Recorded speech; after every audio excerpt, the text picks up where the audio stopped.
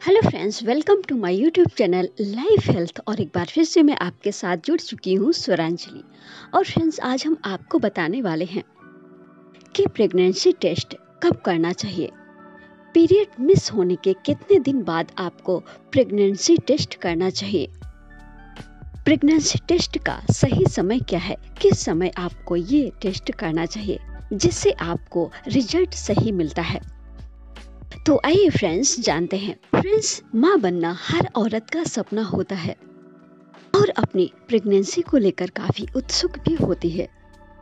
इसीलिए दोस्तों आज हम बात करने वाले हैं कि पीरियड मिस होने के कितने दिन बाद आपको प्रेगनेंसी टेस्ट करना चाहिए जिससे आपको पॉजिटिव रिज़ल्ट मिले। फ्रेंड्स जब भी आपका पीरियड मिस हो उसके एक हफ़्ते बाद आपको प्रेगनेंसी टेस्ट कर सकती हैं। और एक बात का आपको खास ख्याल रखना है, जो आप यूरिन लें, वो सुबह के टाइम की ही हो। सुबह सुबह जब आप उठती हैं, उस समय जो आप यूरिन पास करते हैं, उस यूरिन से आप टेस्ट करेंगे तो उससे आपको पॉजिटिव रिज़ल्ट और सही रिज़ल्ट प्राप्त होता है।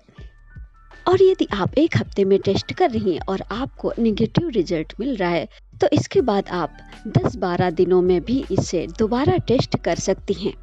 इसके बाद भी यदि आपको निगेटिव रिज़ल्ट मिलता है तो आप 15 दिन में भी टेस्ट कर सकती हैं। 15 दिन में आपको सही रिज़ल्ट ज़रूर मिल जाएगा। तो फ्रेंड्स आप इस बात का ख्याल रखें। पीरियड मिस होने के एक हफ़्ते बाद टेस्ट करें और सुबह के टाइम ही करें। तो फ्रेंड्स आई होप ये वीडियो आपको पसंद आया होगा। अगर पसंद आए तो वीडियो को लाइक करें शेयर करें और साथ ही चैनल को सब्सक्राइब करें। ताकि जब भी वीडियो अपलोड हो सबसे पहले आप देख सकें। Bye guys